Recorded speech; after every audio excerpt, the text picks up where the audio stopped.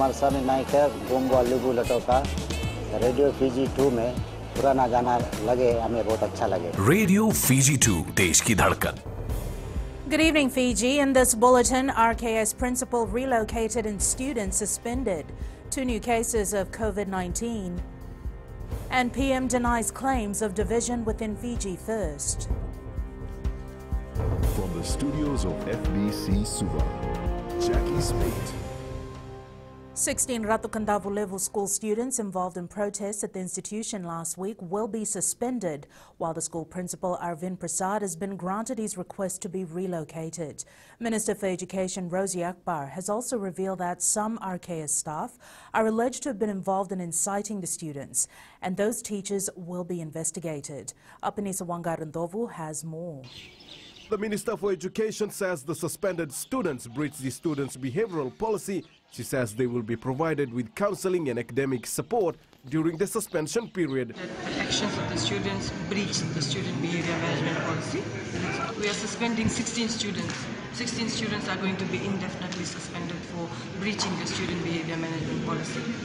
Akbar says the ministry will also carry out separate investigations on claims regarding some teachers who encouraged the students to protest. There were some staff involved as well in inciting the students. That is something that we will not tolerate.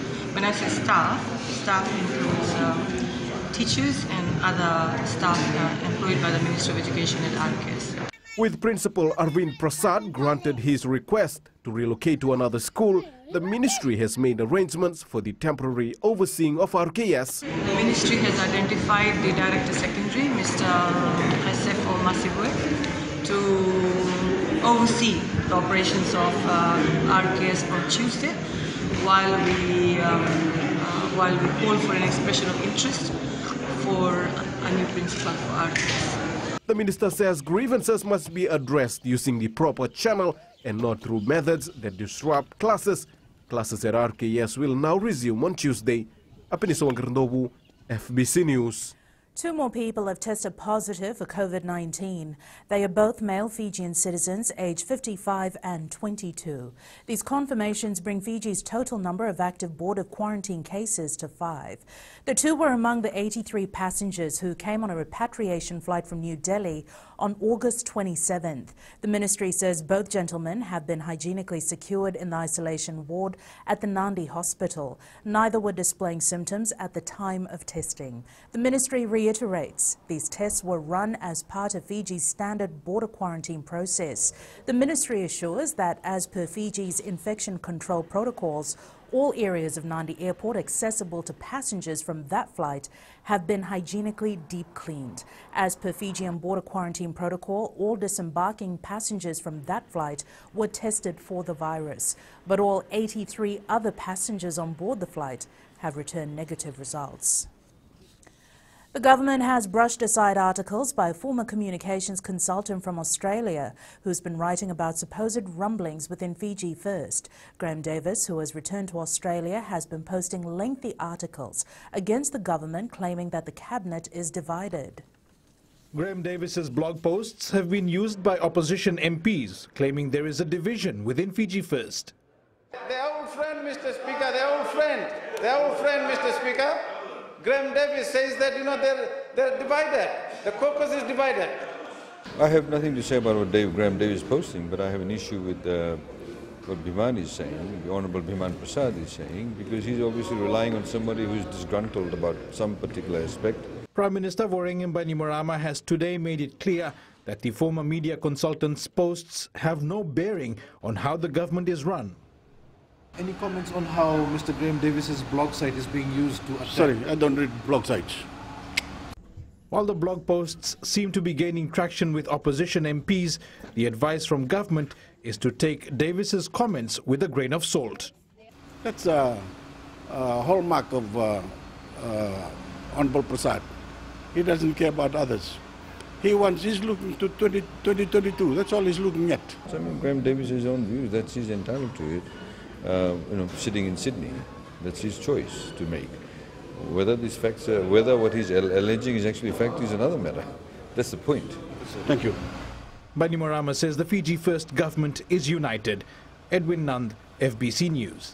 The Prime Minister has set the record straight on the offer of a bipartisan approach, saying he believes the opposition MPs never have had or do have any meaningful contribution. Voreqe Bainimarama also revealed that he once invited NFP leader Professor Biman Prasad to help with the budget. However, Prasad rejected the invitation. Kritika Kumar reports. The Prime Minister has reiterated that the efforts of the opposition are a little too late, as he believes it's totally arrogant for them to be late at the nationwide Talanoa. I still remember the day I invited B- Honorable Biman Prasad to come and help with the, with the, the budget then. He didn't want to come in. Maybe he was, uh, by that time, he was not uh, yet in the party. Maybe he was thinking of joining a party then. Now he's in the party, now he wants all this bipartisan approach. NFP leader Professor Biman Prasad taking offense at the statement by the PM, stating his reasons for not taking up the Prime Minister's offer. Any prime minister who, who comes out here, you know, who's, who's, who's come out of the barrel of the gun to say that we are not prepared to help, now that he's the elected prime minister, Meanwhile, the Prime Minister also questioned opposition leader Sitiveni Rabuka as to why none of their members showed up at the budget consultation. Where was the honorable member during the consultations for our national budget? Where was he? He should be asked that. We know exactly where he was. He was locked up in various hotels around Suva, fighting with his fellow party members for power. Bainimarama adds that a bipartisan approach need to come from the heart. He adds the opposition has lost their opportunity to contribute to the budget by not being present at the consultations. Kritika Kumar, FBC News. National Federation Party President Pio Tikoduadua has refused to respond to comments by Prime Minister Voreqe Bainimarama in Parliament. Bainimarama revealed that he sacked Tikoduadua twice and that helped, he helped the former minister build a farm road for free. Sir, Bula, I was hoping you might have a minute uh, about uh, certain comments by the Prime Minister about him uh, sacking you twice and then rehiring you. Would you be able to comment on why you were terminated?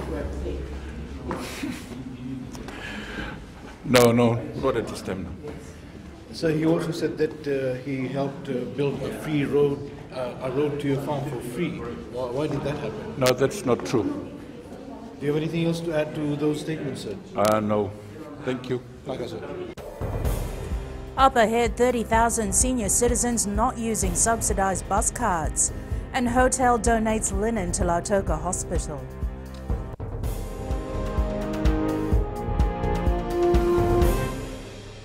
मैं तो दिल्ली दिल्ली में रहता हूँ और radio Fiji बहुत radio Fiji रोज सुनता हूँ radio Fiji to देश की धड़कन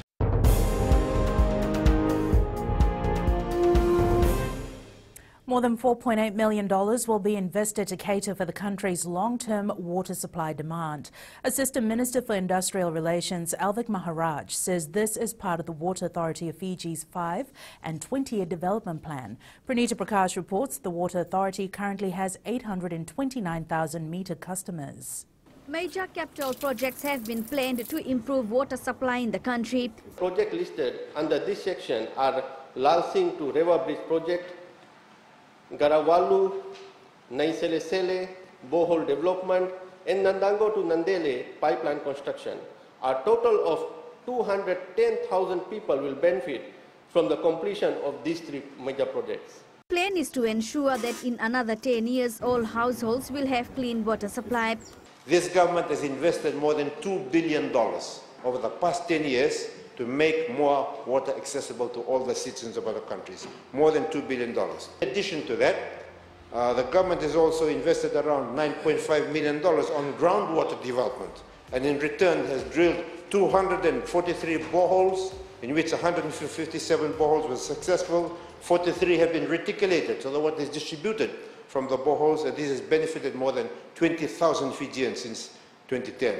As of December 2019, the Water Authority has completed 2,375 projects and $120 million has been allocated in this financial year to further carry out projects to improve water supply. Pranita Prakash, FBC News. Around 30,000 elderly citizens under the Social Welfare Bus Subsistence, Program do not use their cards. Minister for Social Welfare Mereseini Vuniwaqa explained this in Parliament today when questioned about the rationale behind reducing the subsistence to $10 a month. Vuniwaqa says due to the pandemic, they had to rethink of how to ensure that every sector of the economy is assisted and critical public services continue. The minister says there were 82,600 elderly citizens under the bus fare assistance program. Vuniwaqa stresses that apart from the bus fare assistance, the government also assists the elderly through the social pension scheme. At such a time like this, government considers that the livelihoods of our pensioners is very critical and will not therefore touch their pension like I said, it's a balancing exercise. Most of those who benefit from the bus fare assistance that's the subject of this question are also on the social pension scheme.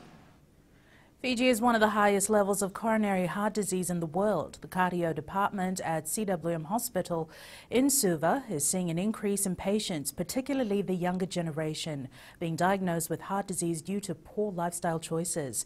Kelly Vadala reports. Smoking, alcohol, abnormal cholesterol levels and health risks such as diabetes and hypertension has been some of the major contributing factors to coronary heart disease. It has been noticed that the age limit is not like the western countries, it's a younger age population. Uh, mostly if a risk factor of diabetes, hypertension, smoking, a young male from 30s above is at risk, uh, 30s to around 60 to 70, these are age of patients we see. It also happens in female but more at a later age, but males we see at a younger age. Cardiologist Dr. Shaheen Nusar says the level of heart disease in Fiji is far worse than many other countries. Disease is aggressive. We have been seeing far horrible disease in somebody who is in the 30s, late 30s or early 40s, which can happen in other places but is usually unlikely. There is also the problem of people who present themselves late to the hospital. Even if they have pain, they will try to suppress it or would not come to hospital, would not seek help. And by the time they seek help, it's a bit too late and they already have heart failure or many heart attacks. The majority of patients suffering from coronary heart disease have been on the hospital's waiting list since March to undergo stenting, which is now being conducted locally. Kelly Vadala, FBC News. The Lautoka Hospital received a timely donation from the Marriott Group today. 6,000 pieces of linen were presented to the hospital at the Western Denarau Island Resort and Spa. It was a gift especially needed during this pandemic. Felipe Naikaso has more. With hygiene being paramount in hospitals, the linen will assist the medical staff in providing better health care. This uh, generous donation has come, you know, in an opportune uh, time, and it's for us, you know, in uh, preparation too. Eh? Uh, we always want to have, uh, you know, clean linens and you know availability of linens all the time. It will also be used at quarantine facilities. I thank our hoteliers and you know the tourism industry for thinking uh, of uh, Ministry of Health in this uh, in this time eh? that we are all working together as a nation to try and control, uh, especially for the community transmission. Donations like these are needed as they continue to assist hospitals and medical staff in maintaining Fiji's security from COVID-19. We started this initiative since April uh, this year, um, and you know we started with giving out with uh, with food. However, uh, this time we are very privileged to work with the Lautoka Hospital. The donation today was part of Marriott Group's Solia Lesu project launched earlier this year. Felipe Naikaso, FBC News. And Whitney joins us now with the latest in business.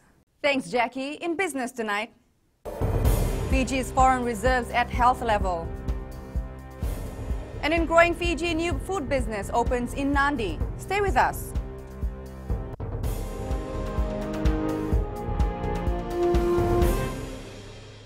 Bula natang ko aprosa ng karse, go erkraki. Do talebe ono barong na Radio Fiji One, nandomo ibiti. Radio Fiji One, nandomo ibiti.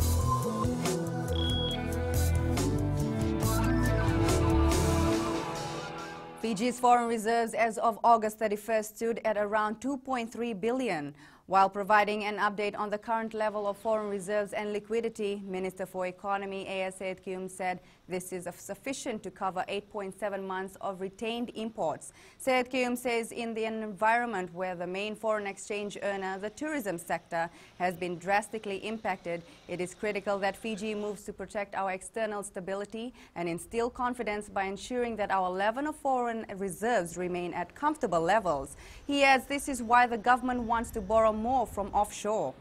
Given the relatively large fiscal uh, deficit due to COVID-19, borrowing offshore helps to avoid a scenario where government competes for and actually crowds out funding to the private sector and domestic market. Because if you borrow more from the domestic market, it means you put pressure on the, the domestic monies, and therefore those people in the private sector will actually have to compete with you. Telecommunications company Digicel Fiji will now reach out to communities and organizations to lend financial help during these trying times. The company launched its All In for Fiji initiative, where they have put aside $50,000 to help communities, youth groups and villages with projects that could benefit and enhance livelihoods. Chief Executive Farid Mohammed says the groups have to come up with ideas and projects that will benefit the members of the communities these, these are difficult times, especially with uh, the impact of COVID. So we want to bring back some sense of hope, confidence, and you know uh, uh, normalcy in our local communities. We want to we want the people to be the uh, the, uh, the, agents for change in your community and be proud through the work you do. And Digicel Fiji is here to support you. All applications must be submitted before the 25th of this month. We now join Sharon from HFC Bank with the latest from the money market. A bit of breather for the Australians today as their retail sales jumped 3.2% in July. Retailers there enjoyed another strong period of sales with gains in all states and territories except Victoria. But this was not enough to draw attention to the Aussie dollar. Meanwhile, the US dollar index dipped slightly following their labor market report. The initial claims for state unemployment benefits totaled a seasonally adjusted 881,000 for the week ended August 29th, compared to over a million the prior week. But the figure still remains extremely high, one of the several signs that the labor market recovery has been losing steam as the pandemic continues and government support lapses.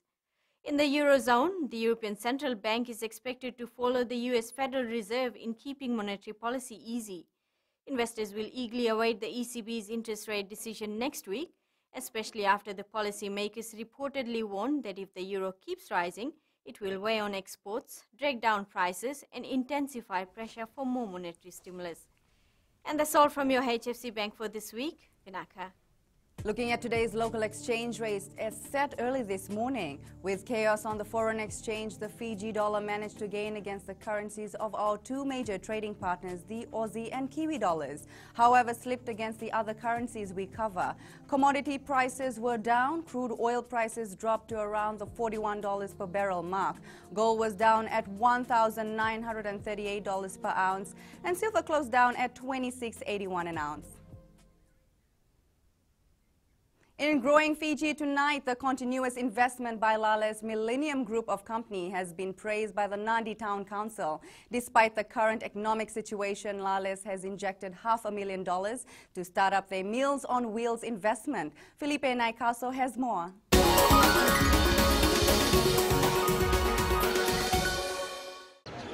It's an investment that has generated new jobs during a time when many Fijians are unemployed we all have to um, applaud Osman for the courage that he's taking to venture into a uh, what we call a medium to small or micro business.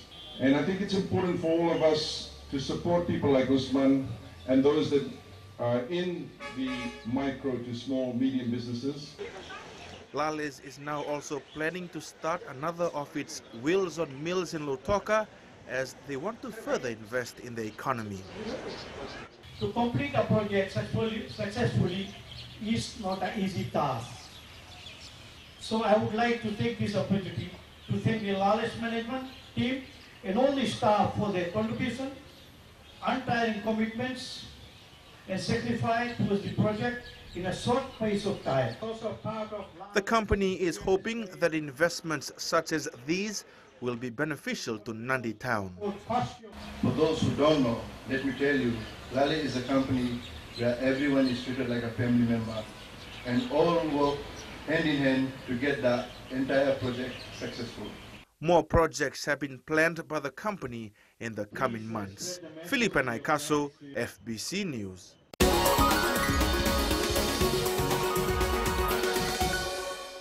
And that's it from Business Tonight. We now join Jamie with the latest in sports. Thank you, Whitney, and good evening. In sports tonight, random drug tests for Skipper Cup players. And fired up Nandi ready for Lautoka. There's and more coming up.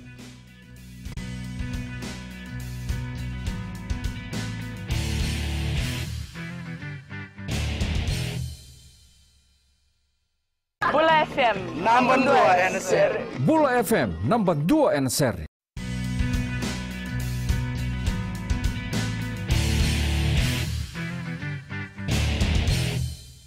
Provincial rugby players will begin random drug testing next week.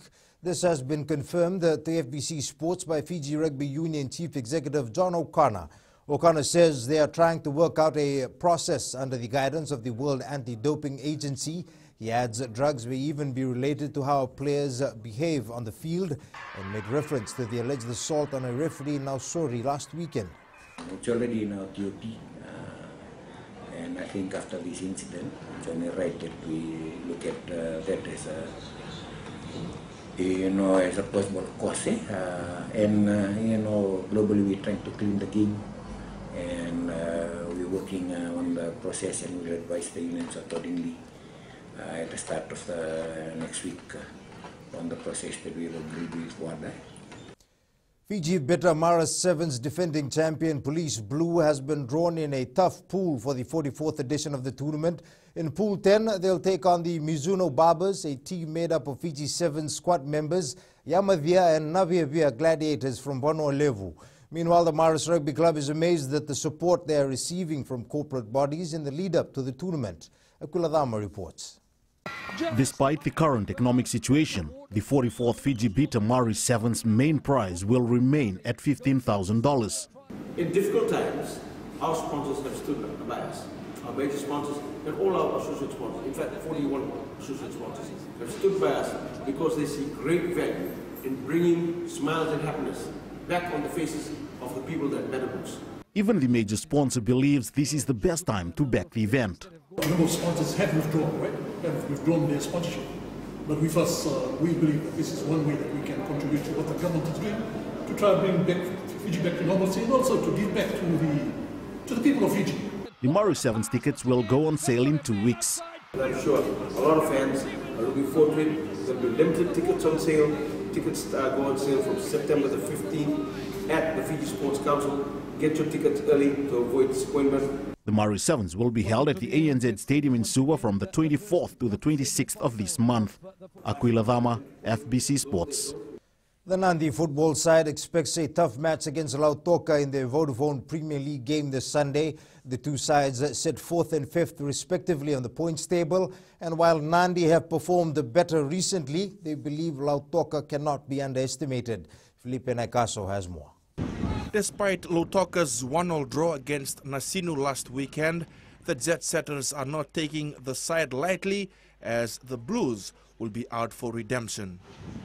We are, we are preparing well for this game uh, uh, since uh, we want to see how consistent we are after playing against Navua.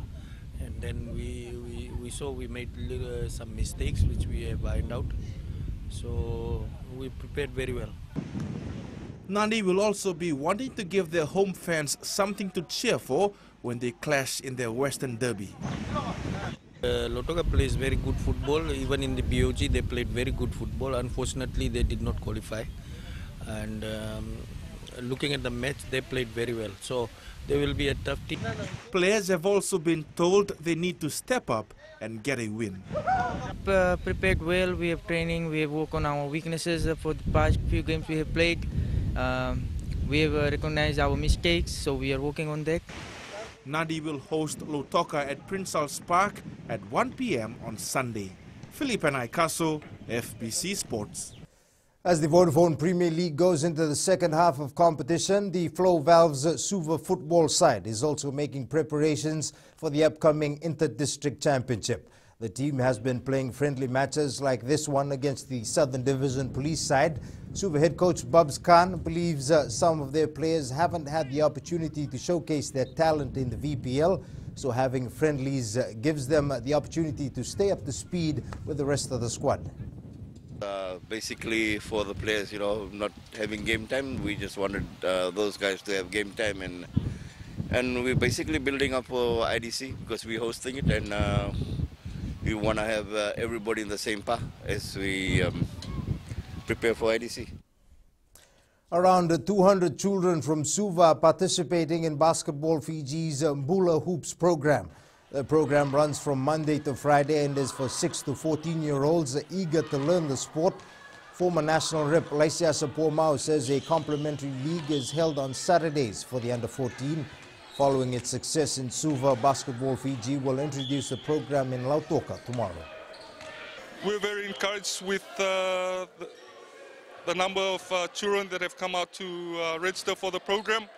Uh, we're into week six of the program, and the program will be ending in uh, four, four, more weeks. We're also excited of, uh, for the opportunity to have the program extend to Lautoka, and um, we'll be studying bull hoops in Lautoka on uh, this Saturday. Jimbati Stars, Apisai Koroisau and William Kikau helped the Panthers beat the Brisbane Broncos 25 to 12 last night. The Panthers made it 12 wins in a row with a hard-fought victory to stay on top of the points table. That's it from Sports Tonight. Coming up in the world of the weird and wonderful, a look at how COVID-19 has changed the eating habits. Find out more after the break.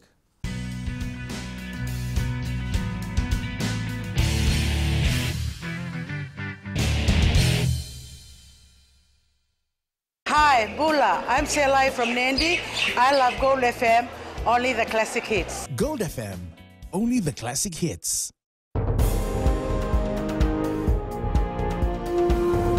And Angie joins us now with the latest in weather.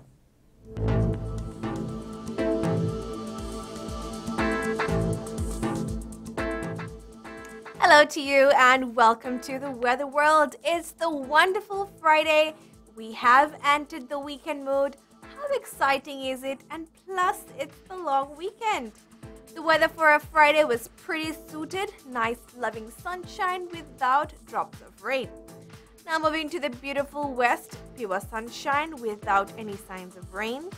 Eastwards from Pekhava to the day was a bliss without any droplets as well. And up north, more sunshine and less drama of showers or gloomy periods. At sea, southeast winds 15 to 20 knots, moderate to rough seas. Now turning to the tides, high tide at 8.15 p.m. with low tide at 2.18 a.m. Sunrise at 6.10. For tomorrow, great weather in the range. Saturday is looking fine. Tomorrow's temps, Suva will be the coolest at 18 degrees, followed by Ba at 19 degrees. And looking further on to Sunday, it's Father's Day. Well, happy Father's Day to all the daddies. And guess what? The weather will be fit for Lovo outdoor barbecue. That's all the weather news from my end. Have a great long weekend. It's back to Jackie. Thanks so much for that, Angie. In Fijian Pulse, we asked, which team are you supporting for this year's NRL title? I think the Roosters will win because they are on the top five. I think the Parramatta's will win uh, this year because why not? Okay, I think the Storms will win because I'm a big fan of Vunivalu. Panthers will win because they've been awesome so far. Recapping the main stories for tonight, RKS principal relocated and students suspended. Two new cases of COVID-19 and PM denies claims of division within Fiji First. Now for these stories and others, tune in daily to our sister radio station Gold FM. Our poll question we're asking, should players who abuse match officials be banned from playing for life? Visit our FBC website to answer. And our shot of the day, final one for the week, and the picture comes all the way from Koro Island, a farmer heading home with his horse on a beautiful afternoon.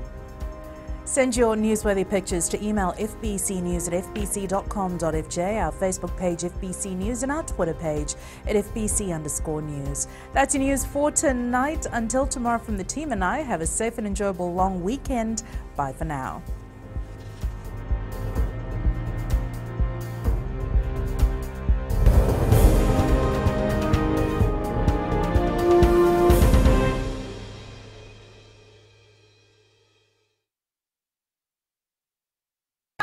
FM, number 2 NSR.